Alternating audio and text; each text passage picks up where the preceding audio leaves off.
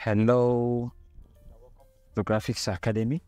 All right, so um, in this video, we're going to be exploring Capture One. We're understanding how to blend skin tones using your Capture One. If you're having uneven skin tones in your images, this is the video for you. You're going to be learning step-by-step -step guide on how you can blend your skin tones using Capture One. All right, so having said that, let's jump video. But before we start, make sure you click on our subscribe button to subscribe to our YouTube channel and ring the bell to get notified every single time we drop a new video. So that will be it for now. And let's get straight to work. All right, so this is a picture we're going to be editing this particular one down here. Of course, the same process can apply to all these ones, but this is one I'm going to be focusing attention on such a nice image, such a nice image. All right, so I think it has some quite quite some details. This is the picture we're going to be focusing on. So the first thing I'm going to be doing on the image is I'm going to be lifting the shadow. I do not really like the way it's looking, especially for the purposes of the video. So we can see the stuffs we are doing quite well. So you don't need you don't need to flatten it out like this. It's going to look weird. So just place it somewhere around here. Still leave those drama to it, or just make sure your your shadows are quite open. Then you can maybe drop down the highlights a little just a little to be able to, you know, make things look a bit more even. So you can go to your uh, exposure slider and probably add a little contrast, but I wouldn't want to use that. Let me go and use my levels. So let me just add a little, a little contrast to it using my levels just like this. Let me not the highlights too much. So I'm going to leave it the way it was. Just a little like that. Beautiful. All right, so I think my shadows are becoming too dark again. All right. You can actually these and notice looking quite somehow. So I'll just add a little contrast, no? Or you can use your curves. Let's just use our curve. I'll go and use my curve. Just drag this one up, down like this. Drag this down a little. Drag here up like this. So if you do it this way, you just be adding contrast to your image.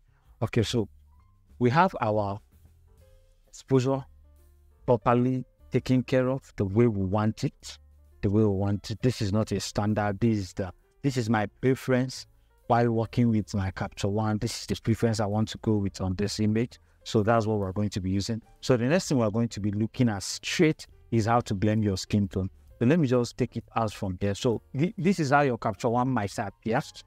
When you come into your Capture One, this is how you might appear. So what you're going to do is to go to skin tone take this color picker here, just this one. So you are free to pick any part of the skin. What this does for you is that any part of the skin you use, you, but the uh, Capture One rather is going to use it as a sample.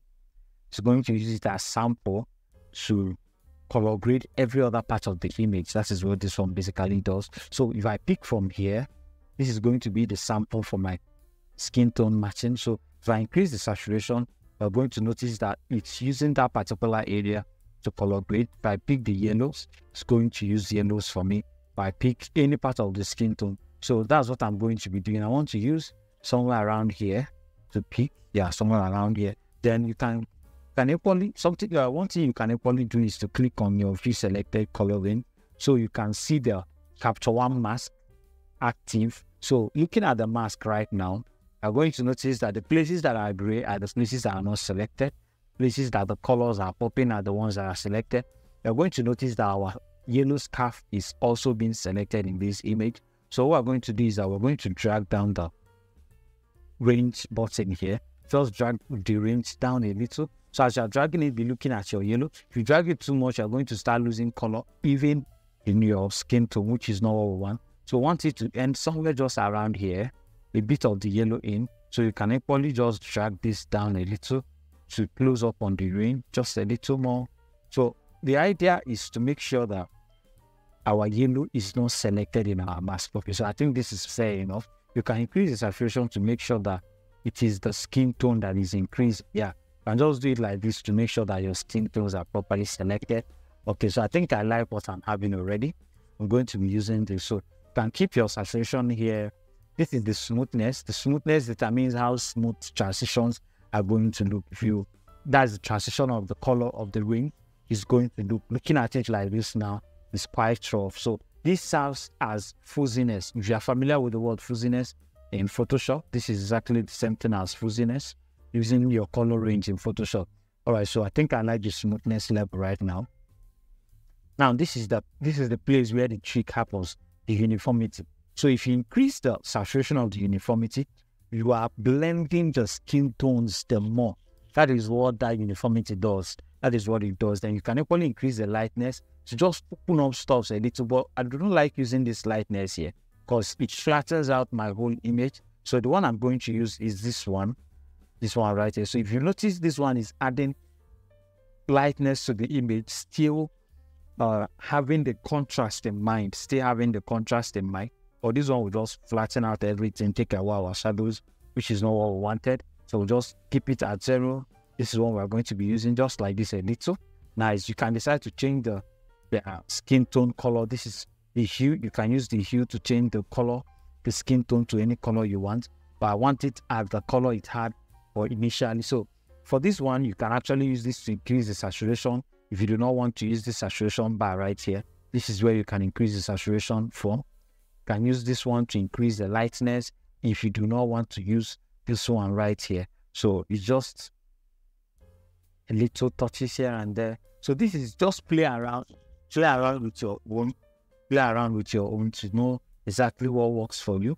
So I'm, I'm actually targeting a dark skin tone model, a dark skin tone model. I think I like her here. So I'll just drop down the, the lightness a little, yeah, like that. So we can equally desaturate the image to an extent like that. So to achieve that melanin or, or that dark skin toned image we want, we don't want it to look fair or tan, something like this. This is quite too much. So I'll just desaturate the reds a little like this, beautiful.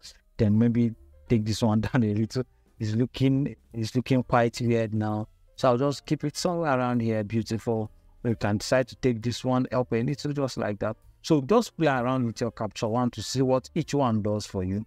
So when you are done, you unveil your mask, simple. When you are done, you unveil your mask and zoom in to see the color effect, amazing color effect. I think I need to saturate it just a little like this, beautiful. All right, so there are other things you can equally do. can go to the color balance and generally affect your color, your, the, the overall color of the whole image. But this is not what we are targeting right now. We are just targeting your skin tone. So this is how you can even out your skin tones in using Capture One to make the whole skin tone blending. So when you are done, just uncheck this view selected color range and your skin tone and your mask will be unveiled and you will have your result. Okay, so let's click on before and after and see what the image looks like. So this was the image before when we entered Capture One. This is it after we did one or two corrections. So this is before, this is after, this is before, this is after maybe let me just increase the saturation quite high so you can clearly see the results. Maybe somewhere here so you can clearly see the result. Okay, so this is before, this is after, this is before, this is after. If you notice, it's just targeting the skin tone. Thank you for watching this particular video.